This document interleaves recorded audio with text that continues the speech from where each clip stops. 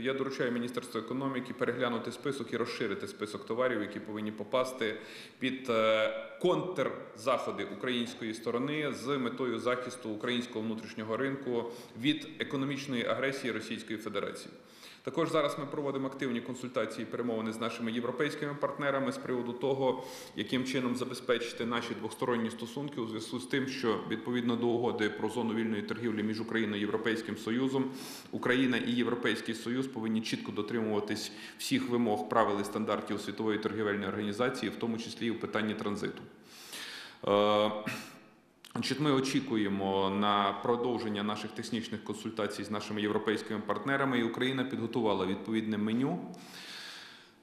з яким ми звертаємося до наших європейських друзів, як допомогти нам пройти доволі цей складний економічний етап е, після того, коли Росія вкотре порушила двосторонні та багатосторонні угоди в частині економічної кооперації між Україною і Російською Федерацією, що в принципі легко очікувалося. Тому ми сподіваємось на продуктивний діалог з нашими європейськими партнерами з приводу того, як ми разом будемо виходити з цієї непростої ситуації.